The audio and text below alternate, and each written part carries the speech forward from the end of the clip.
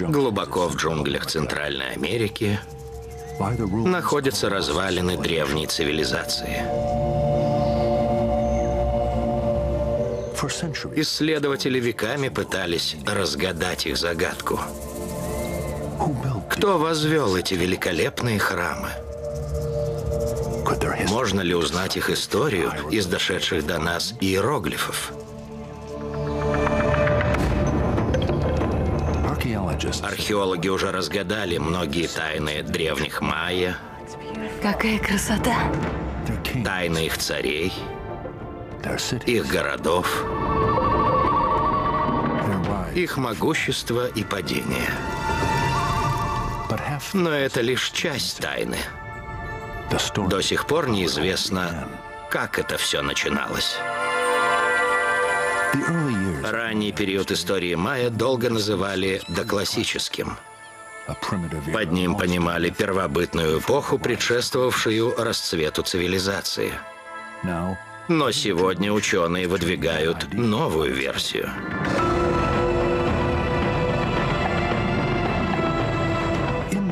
В самом сердце Гватемалы они открывают мир майя, который существовал за тысячу лет до уже известного науке периода. Это обретение новой цивилизации. Под покровом джунглей скрыты древние тайны. Быть может, величайшая из всех пирамид мира возвышается над этим легендарным царством. Для майя оно было священным местом, память о котором хоронили в веках. Династия царей, чьи имена были забыты на целые столетия. Он погребен где-то здесь. Храм, исчезнувший на два тысячелетия, а на его стенах майяский миф о сотворении мира. 400 год до нашей эры, 500 600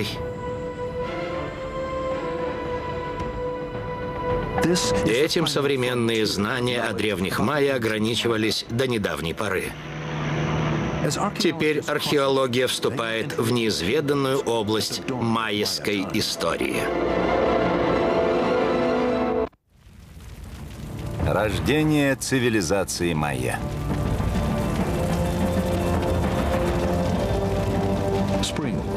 Весна 2003 года. По джунглям Гватемалы распространяются пожары. Многие из них устраиваются фермерами и скотоводами, которые нуждаются в новых землях.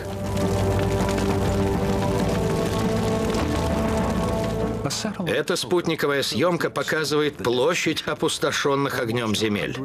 Огнем объято почти 40 тысяч гектаров дождевых лесов.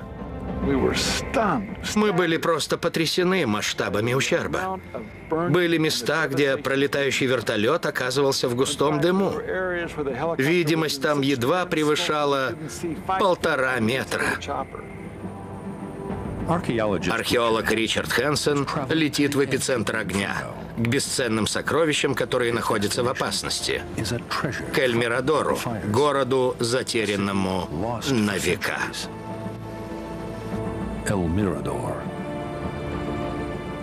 Ричард предполагает, что окружающая его долина Мирадор хранит разгадку происхождения одной из величайших цивилизаций в истории.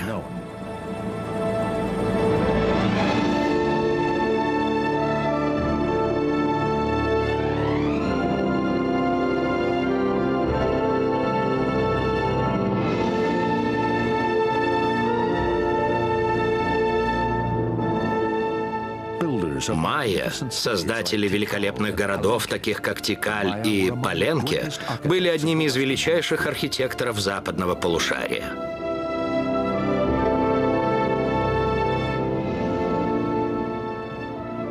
Их астрономы делали поразительно точные чертежи движения небесных тел. Замысловатые иероглифы передавали их мысли и повествовали о событиях их жизни.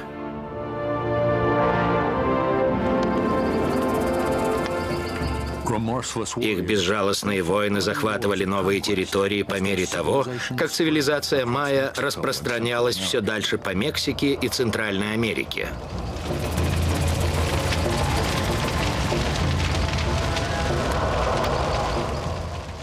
Такова история культуры майя классического периода. Расцвет ее городов продолжался между 250 и 900 годами нашей эры. Но теперь археологи открывают другую цивилизацию майя, которая существовала за целую тысячу лет до этого, в эпоху, которую называют доклассической. Материальные свидетельства существования этой цивилизации скрываются в долине Мирадор, в джунглях Гватемалы, которым сейчас угрожает огонь.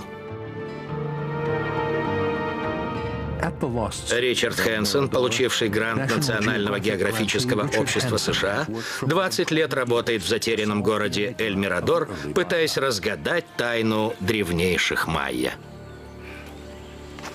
Так, это третий ярус Большой пирамиды Данта в Эль-Мирадоре. Самый большой по размерам. Длина ее платформ почти 800 метров. Вот они, под ногами. Вероятно, одна из крупнейших пирамид в мире.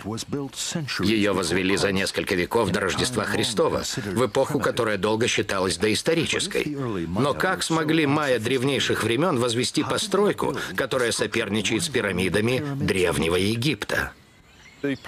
Человек, приказавший построить это здание, был непростым племенным вождем, жившим в хижине из тростника. Этот правитель был равнозначен Рамзесу или Хеопсу. Внимание Ричарда привлекла также одна из пирамид меньших размеров. Может ли ее великолепная резьба свидетельствовать о царском погребении?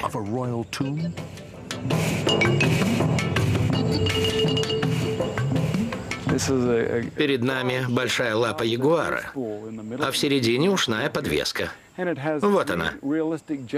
А вот три реалистично изображенных когтя и внутренняя поверхность лапы. Вот еще один коготь. И еще один внизу. Находка этого артефакта до классического периода связана с одним правителем, который, как мы предполагаем, правил между 152 и 145 годами до нашей эры. Его звали Юкном Ячиакак, то есть большая огненная лапа ягуара. Может быть, в этом изображении зашифровано его имя, и он был похоронен именно здесь.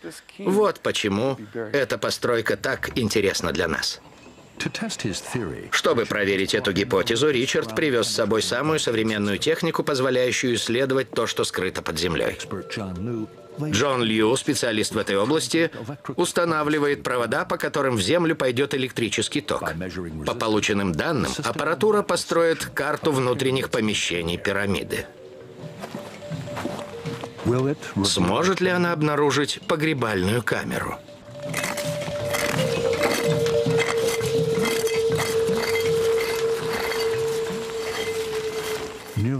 Почти два часа спустя Джон окликает Ричарда.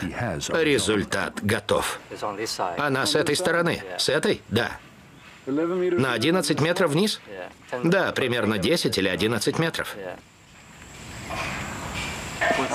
Вот это да. Хорошие новости. Это точно? Да. Ее очертания. Аппаратура обнаружила полость размерами, вероятно, 8 на 2 метра. Это как раз подходит для погребения. Вот она, эта камера. Быть может, Ричард на пороге потрясающего открытия. Это потрясающе. Вероятно, эта находка будет соперничать с погребениями правителей классического периода, живших несколько столетий спустя. Легендарных царей, таких как Пакаль Великий. Гробница Пакаля была обнаружена в 1952 году в городе Паленке мексиканским археологом Альберто Руссом. В наши дни археолог Дэвид Фридель пересматривает значение этого открытия. В конце 1940-х годов Альберто Рус нашел лестницу из утрамбованного щебня, которая вела вниз в глубину этого замечательного храма. Он не подозревал, что обнаружит там.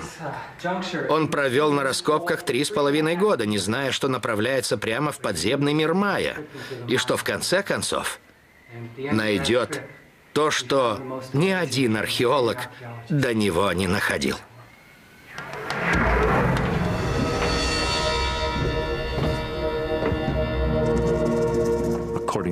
Согласно Фриделю, Пакаль считал себя воплощением божества. Его гробница должна была быть картой его странствия через смерть к воскрешению.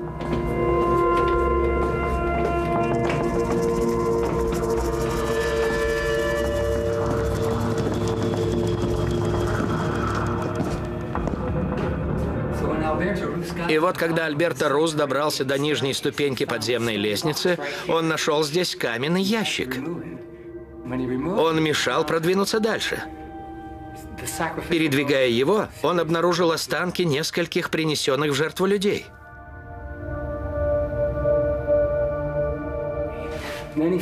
Потом он нашел вот этот большой проем, треугольный. Он вынул камень и заглянул внутрь. То, что он увидел, было поразительно. Это была погребальная камера, в которой стоял массивный саркофаг. Он сверкал сталактитами, образовавшимися из-за воды. Столетиями капавший сверху. Своего рода пещера, но особая, священная.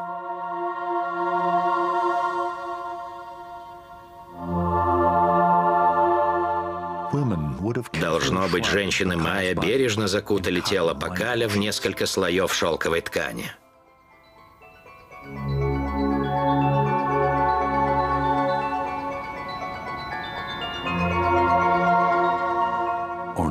В его руки вложили украшения из нефрита, символа жизни –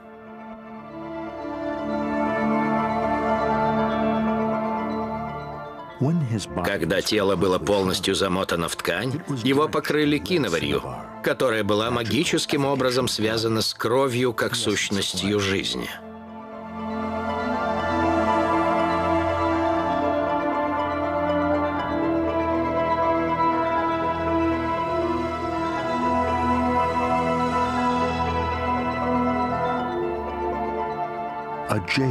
Лицом Пакаля навеки стала нефритовая маска.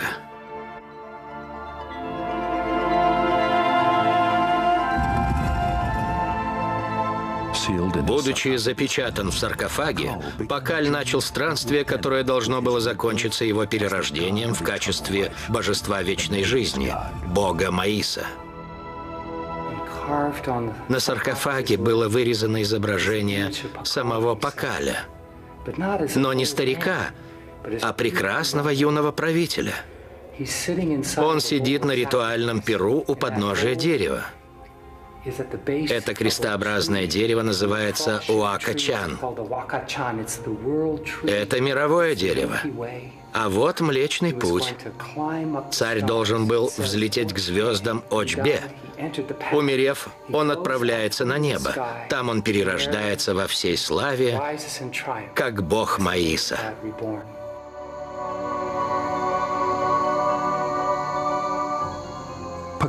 Небесное странствие Пакаля вернет его в начало времен, к истокам майского мира, где он соединится с богами-создателями. Пакаль верит, что эти боги — его предки, которые явились из таинственных миров на заре времен. Пакаль и его народ вели свое происхождение из первоначального города Кан. Это было место, где родился бог Маиса, вечный город для Майя, священное место, существовавшее от начала времен. Подобно Камелоту, прародина Майя оставалась для них вечной мечтой. Она веками будет отражаться в культуре майя. Но существовала ли она на самом деле? Это спорный вопрос, но Фридель считает, что существовало. Это была долина Мирадор и лежащий посреди нее дремлющий гигант, город Эль-Мирадор. Кто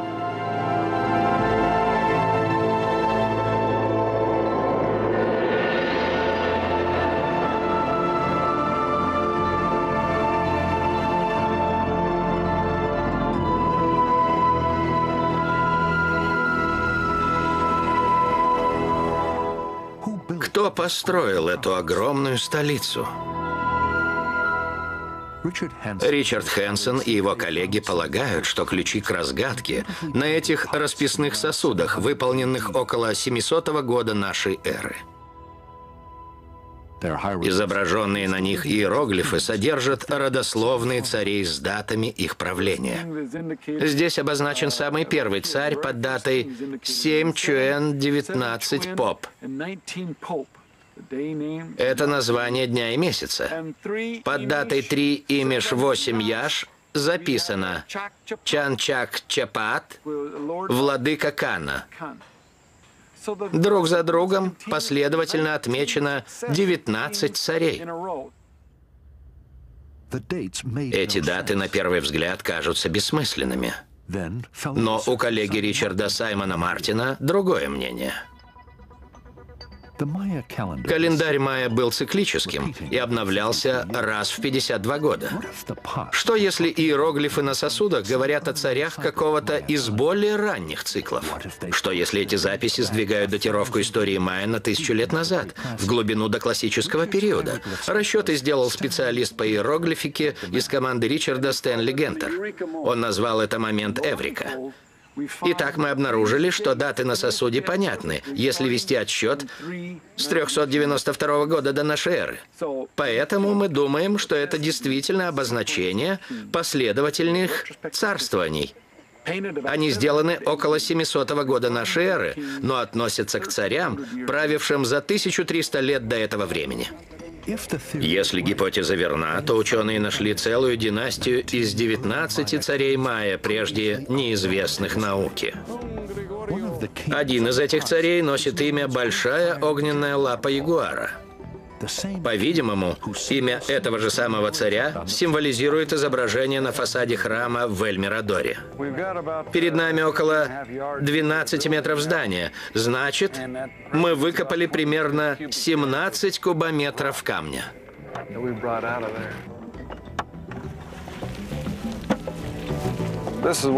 Эта постройка представляет особую сложность для археолога, потому что в этих тоннелях очень жарко. Там нет никакого движения воздуха. Вы скованы со всех сторон, там очень опасно. Ричарду потребуется несколько недель, чтобы добраться до того места, где аппаратура зафиксировала полость. По пути к нему совершаются удивительные открытия. Вот, например, отпечаток руки. Левой руки человека, который клал сюда камни и раствор. Знаете, когда кладешь сюда свою руку, как будто бы и не было 2200 лет.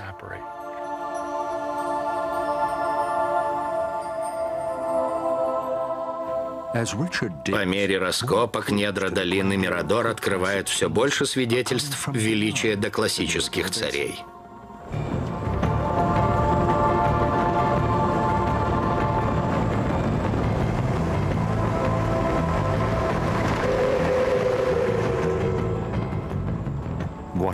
Гватемальский археолог Франсиско Эстрада Белли направляется к другим раскопкам до классического периода. Начались дожди, и дороги стали почти непроходимыми. Но усилия того стоят. Национальное географическое общество спонсировало исследование Франциска, и он сделал крупную находку в другом затерянном городе до классического периода – Сивале. В доклассический период в майяских долинах существовал не только один большой город Эль-Мирадор, но целая сеть городов. Обнаружив главный храм Сиваля, Франциско увидел, что грабители сделали подкоп с задней стороны пирамиды. У самой вершины они оставили небольшое отверстие. Забравшись сюда, я увидел отверстие там, где должна была быть передняя сторона здания. Я просунул в него руку и ощутил, что поверхность там не гладкая. На известняке был какой-то рельеф. Я подумал, что там на фасаде может быть изображение змеи или орнамент на маске. Я решил, что мы должны копать и прийти к фасаду здания другим путем. Франциско пришел к передней части пирамиды с другой стороны, прорыв тоннель через центр.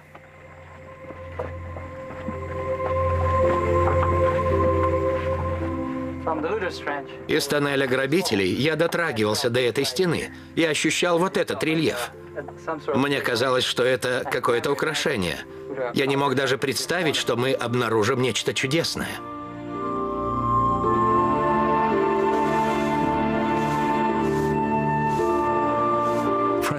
Франциско полагает, что это массивное лицо принадлежит Богу Солнца. Оно достигает трех метров в высоту. Такое впечатление, что оно сделано вчера. Дух захватывает от мысли, что мы трогаем его и смотрим на него в точности, как те люди, что жили более двух тысяч лет назад. Две пары таких масок, вероятно, стояли по бокам лестницы в храм. Франциско думает, что на их фоне проходили сложные обряды, в которых царь олицетворял богов-творцов.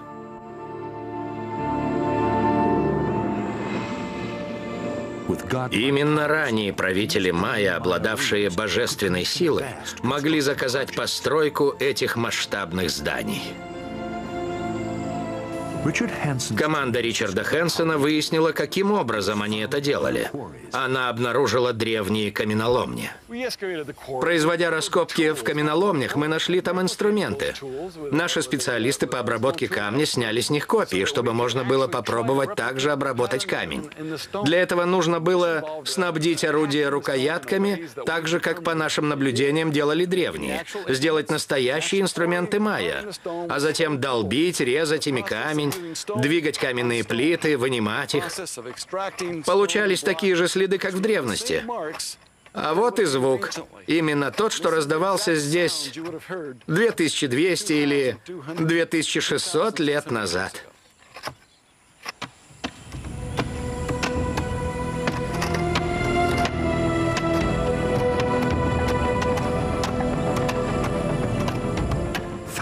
На изнурительных работах в таких каменоломнях были заняты тысячи людей. Они долбили камень и переносили глыбы весом до 500 килограммов. Неподалеку еще тысячи рабочих делали известковый раствор, который скреплял камни всех зданий города.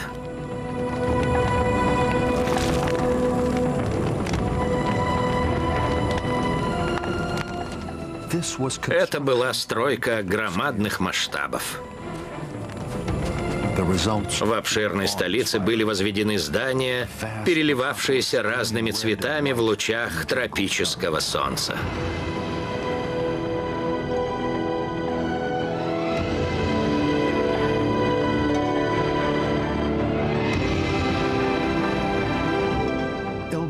Эль Мирадор. Его население, вероятно, составляло 100 тысяч человек. На восточном конце города возвышался огромный храм Данта. Может быть, крупнейшая пирамида в истории.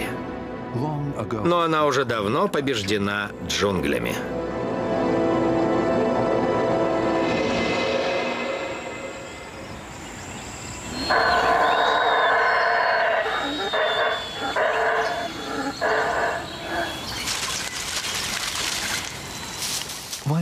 Как во всех дождевых лесах, в долине Мирадор очень богатая флора и фауна, но бедная почва.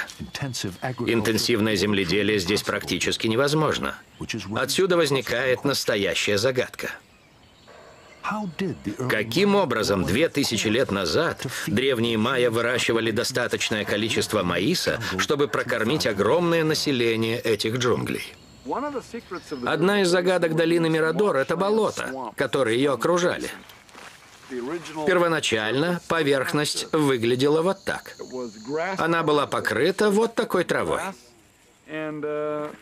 Мы обнаружили, что майя вручную переносили этот материал в города тысячами тонн и устраивали там садовые террасы. В деревне на окраине долины Ричард воссоздал древние террасы с их богатой болотистой почвой. Нужно было прокормить большое население, иметь достаточно людей, способных работать на стройках, содержать архитекторов и астрономов, музыкантов, художников и сложное общество до классического периода в целом. Все это было возможным благодаря этому удобрению, которое стало экономическим двигателем для общества в течение всего древнейшего периода.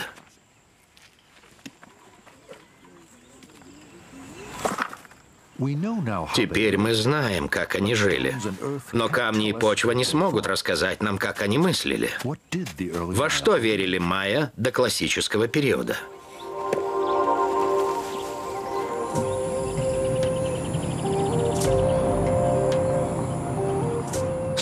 Примерно в 100 километрах от Эль-Мирадора сквозь джунгли движется вереница грузовиков.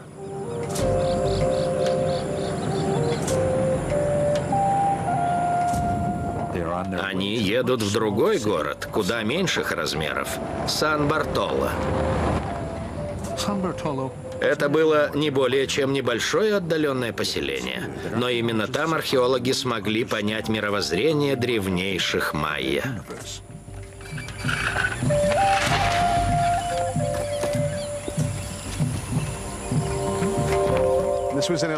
В нем селилась местная элита и знать, которая управляла оттуда всей долиной. Главный здесь археолог Билл Сатурна, также поддержанный Национальным географическим обществом. Проделав изнурительный путь сквозь джунгли, он обнаружил впечатляющие руины Сан-Бартоло. Билл быстро понял, что он не был первым. Когда мы прибыли в Сан-Бартоло, было совершенно очевидно, что здесь часто и подолгу работали грабители. На этом месте около ста необычных холмов. Каждый из них был раскопан по меньшей мере по одному разу.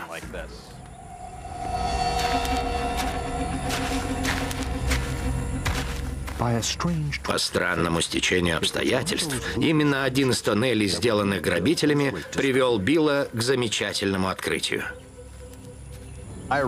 Я приехал сюда вечером после целого дня ходьбы. За все это время у меня во рту не было ни капли воды. Было жарко, я устал и был разочарован бесплодными поисками. Я зашел в один из тоннелей, просто чтобы скрыться от солнца, и сел там в тени.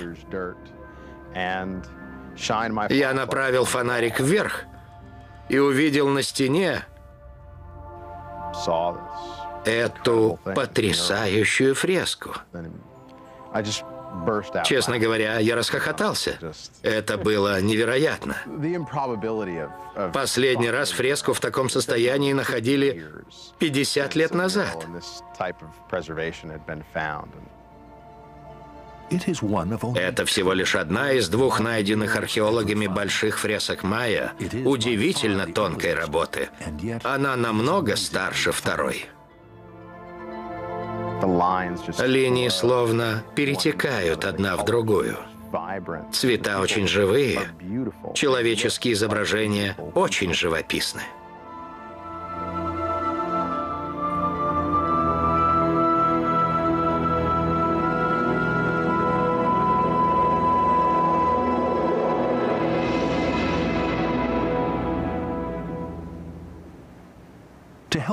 Чтобы разгадать смысл этой фрески, Билл пригласил художницу Хизер Хёрст, которая сделала точную зарисовку.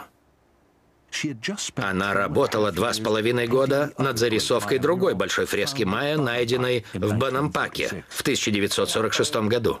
Я не могла поверить, что он обнаружил не просто роспись, а очень ранний образец. Никто раньше не видел ничего подобного. Лаборатория Билла расположена в старом колониальном городе Антигуа, в горах Гватемалы. Кроме Хизер, он пригласил еще двух выдающихся экспертов по символам майя – Карла Таубе и Дэвида Стюарта. Итак, мы определенно имеем когда Билл вернулся из джунглей с первыми снимками фресок, мне стало совершенно очевидно, что в области майонистики это будет, наверное, одна из величайших находок, если не самая важная за последние 20 или 30 лет. Для майя позднего до классического периода это своего рода Сикстинская капелла. Это очень оригинальная роспись, настоящее произведение искусства. Думаю, можно смело утверждать, что это открытие изменит все наше представление о том, как майя создавали предметы искусства, как они выражали в них космологию, свое представление о началах Вселенной. Это сцена из большого мифа майя о сотворении мира, который был записан полторы тысячи лет спустя в эпосе под названием «Попольвух». Это первый рассказ, первое повествование. Не было ни человека, ни животного, ни трав, ни лесов. Было только море и великое пространство небес. Только неподвижность, только молчание. И только Бог, имя которому было сердце небес. А в воде кружил пернатый змей. Во тьме в начале времен.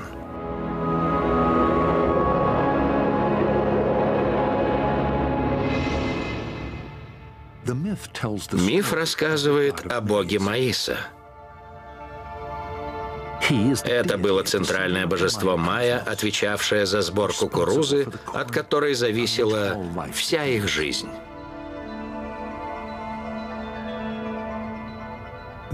Бог Маиса спускается в подземный мир, где владыки демонов убивают его. Его голову вешают на дерево.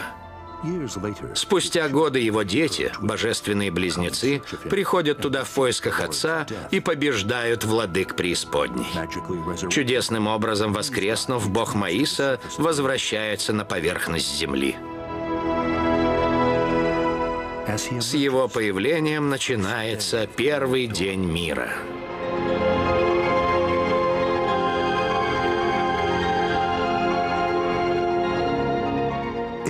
Такая история бытовала у майя классического периода. Здесь же перед нами детальная и реалистичная версия, зарисованная на несколько столетий раньше.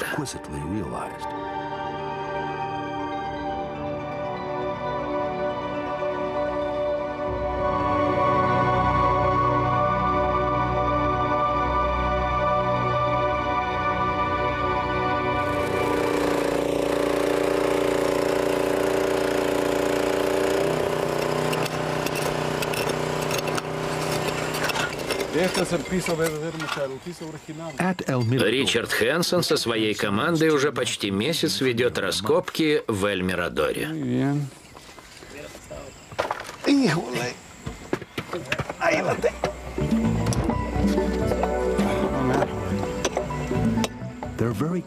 Они очень близки к тому месту, где должна находиться гробница.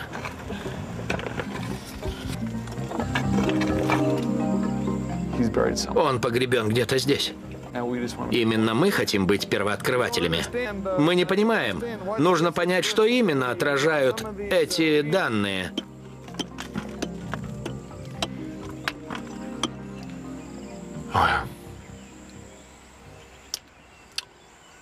Мы будем продолжать. Попробуем еще.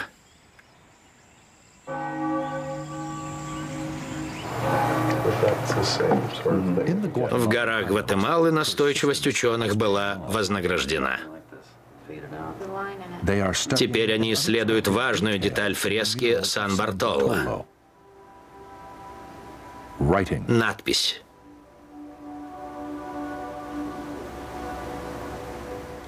Это одни из древнейших известных иероглифов до классического периода.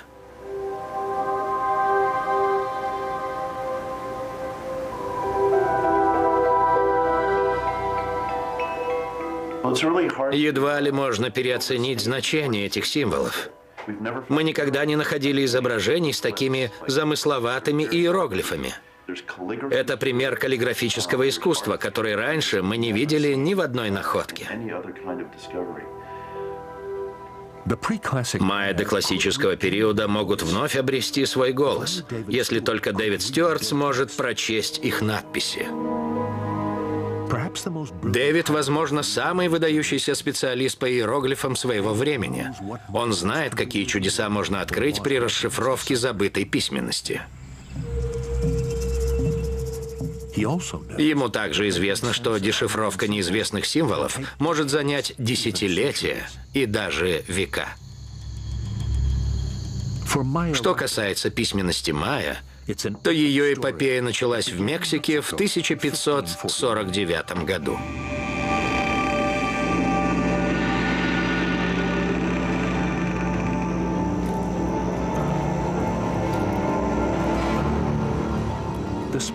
Всего несколько лет назад случилось испанское завоевание. Забота о спасении душ индейцев поручена монаху-францисканцу Диего де Ланде. Годами де Ланда пытается обратить майя в христианство и отвратить их от идолопоклонства и человеческих жертвоприношений. Мы должны рассматривать человеческие жертвы в рамках мировоззрения самих майя. Пролитая кровь была нужна за тем, чтобы не прерывался земледельческий цикл. Поэтому, какими бы ужасными они нам ни казались, для майя они были необходимы. С пришествием христианства кровавые пристрастия майя не изменились. Напротив, они усилились. Приходит новый христианский бог, а вместе с ним новые изображения кровавой жертвы. В этом случае распятого Христа. На них Христос представал раненым, измученным, страдающим. И поэтому для майя эти изображения выглядели удивительно правдиво. Образ жертвоприношения Сына Божия стал для них мощным стимулом к действию. К своему ужасу Деланда узнал, что обряды майя стали еще более бесчеловечными. Теперь стали распинать детей –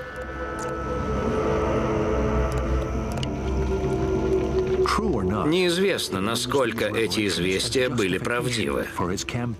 Но Ланда использовал их для оправдания своей кампании по искоренению верований майя во всех их проявлениях. Он приказал сжечь священные тексты. Он расправлялся с индейским культом, уничтожая религиозные символы.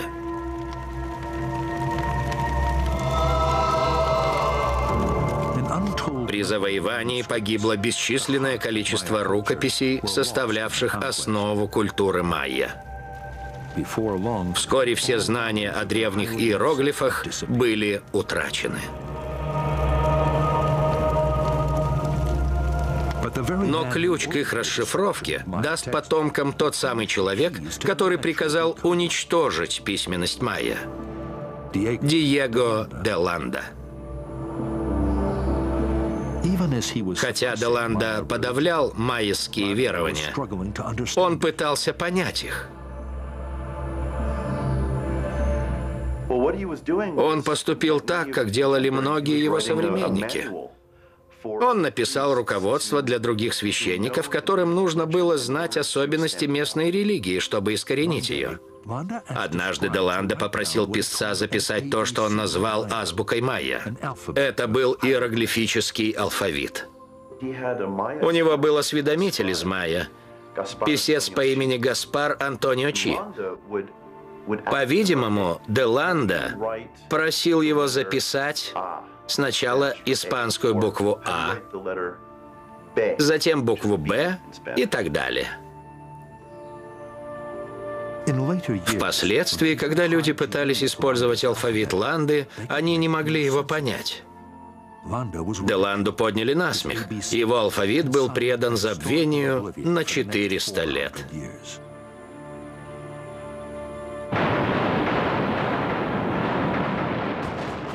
Весна 1945 года. В последние дни Второй мировой войны советские войска приблизились к Берлину. Многие здания города охвачены огнем. Молодой русский солдат Юрий Кнорозов устремляется в Национальную библиотеку и вскоре выходит из нее с томом майских текстов.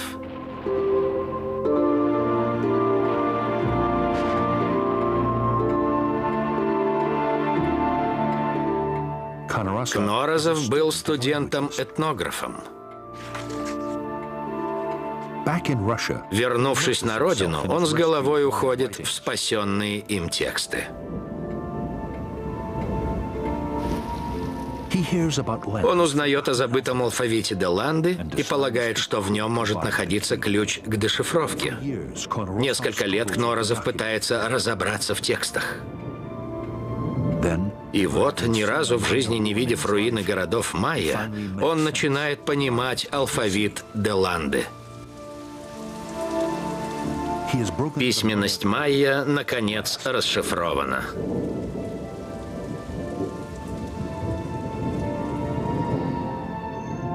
Со временем стены разрушенных зданий классического периода стали читать как книги. Там оказались истории из жизни майя.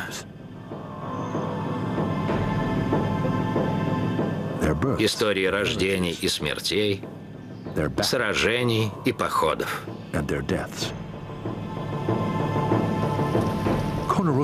Кнорозов совершил прорыв в расшифровке письменности майя.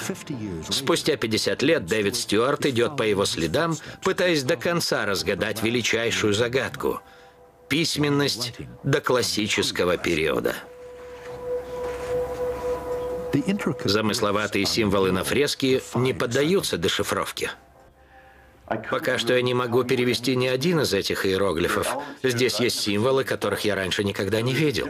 Такое ощущение, что здесь есть нечто новое для нас. Может быть, другая система, которая существовала до позднейшего упорядочения письменности. То, что казалось неудачей, в действительности было открытием.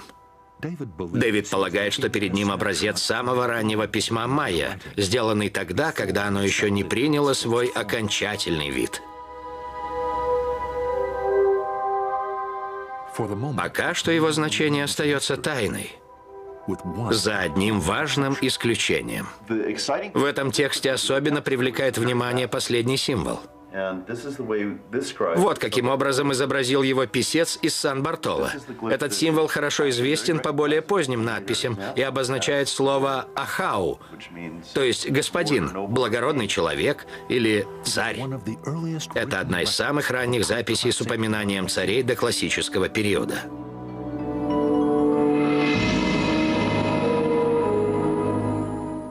Но где же находятся их гробницы?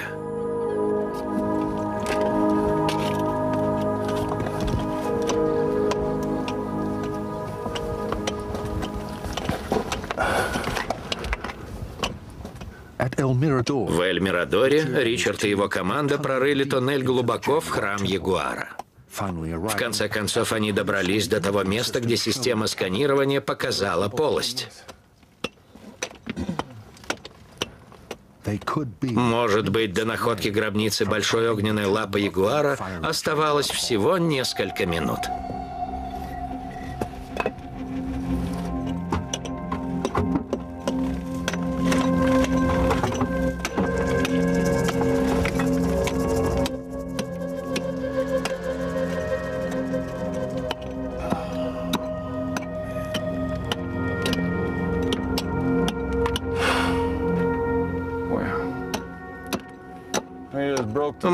Прорубили стену, прошли туда и нашли только пыль и камни. Но там должна была быть камера или что-то в этом роде. Это шаг назад. Там должно было что-то быть. Да, таинственные правители Кана остаются неуловимыми.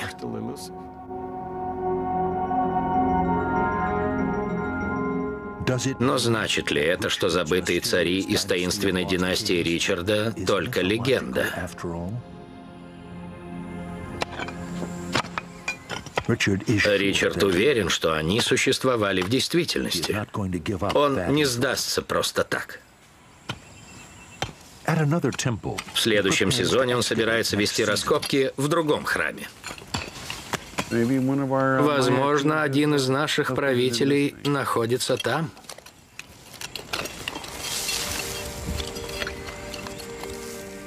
Ранние правители все еще неизвестны истории. Однако найдено изображение одного из них. Это последнее открытие, сделанное при изучении фресок в Сан-Бартоло. Прямо над символом, означающим слово «господин», находится изображение доклассического повелителя, вероятно, древнейшее из найденных.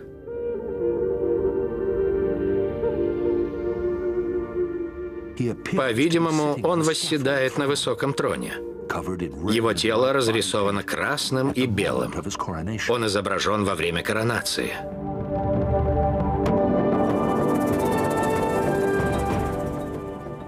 Должно быть, этот обряд был очень зрелищным.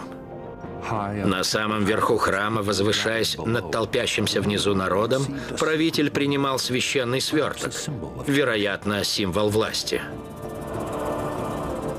Внизу происходили жертвоприношения в память о смерти и воскрешении бога Маиса.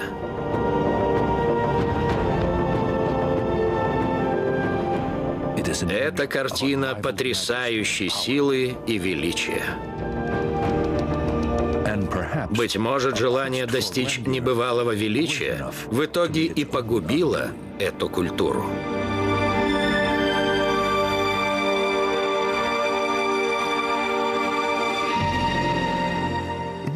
Во втором веке нашей эры многие города долины Мирадор пришли в упадок.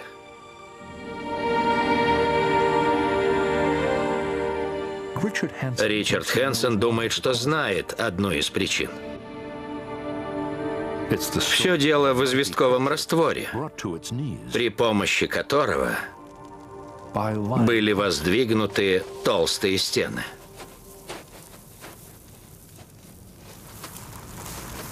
Чего же стоила эта толщина стен и переливающаяся поверхность каждого здания и храма? Чтобы приготовить раствор, майя расплавляли известняк в дровяных печах.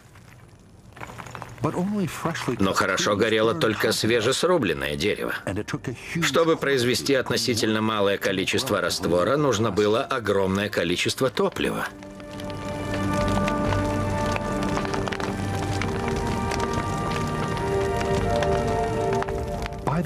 По подсчетам археологов, чтобы приготовить раствор для одной большой постройки, Майе нужно было выжечь около 400 гектаров леса. В Эль-Мирадоре были сотни зданий, размеры их росли. Вот первый этаж здания. Он идет вверх, вот до этой лестницы. Красноватая стена очень мощная, исключительно прочная, толщиной около 9 сантиметров. Но потом они надстраивают сверху другой ярус со стеной толщиной 20 сантиметров. Представьте, сколько потребовалось древесины, людского труда и камня на такое количество извести. По мере того, как верхушка общества майя требовала строить все более обширные города, производство извести сводило на нет леса долины Мирадор и засоряло болота, от которых зависело их существование. Когда вырубается такой тропический лес, происходит вымывание глины в болото. В результате болота не могут поддерживать процессы, необходимые для земледелия. Нехватка продовольствия – настоящее бедствие. Одной из ее причин была чрезмерная добыча ресурсов. В конце концов, выжигая лес, майя из долины Мирадор оказались на краю гибели. Сама природа остановила их разрушительное действие. Может ли подобная история повториться теперь?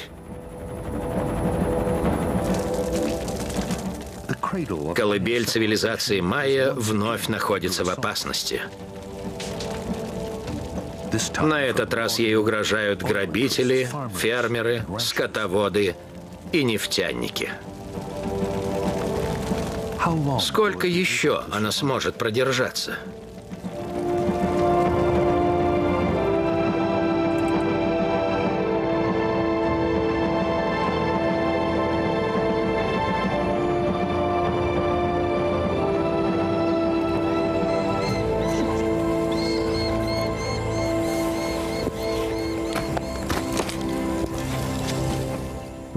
Ричард Хэнсон борется за то, чтобы превратить долину Мирадор в археологический заповедник.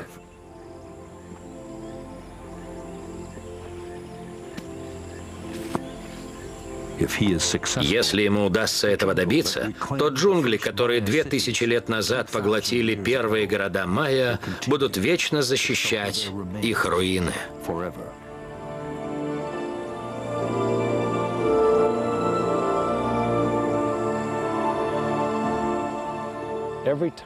Всякий раз, когда сюда поднимаюсь, я вновь поражаюсь тому, какая эпическая история здесь разворачивалась.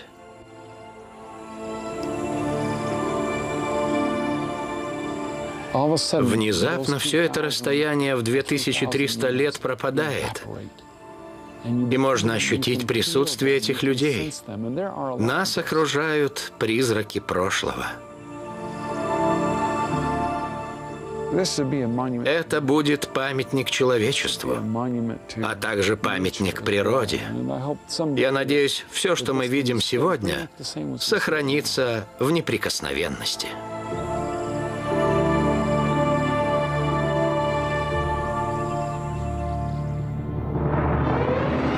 Операторы Гэри Грик, Эндрю Янг, Мартин Астуриас. Продюсер, режиссер и автор сценария Грэхэм Таунсли. Фильм озвучен студией СВ «Дубль» по заказу ГТРК «Культура».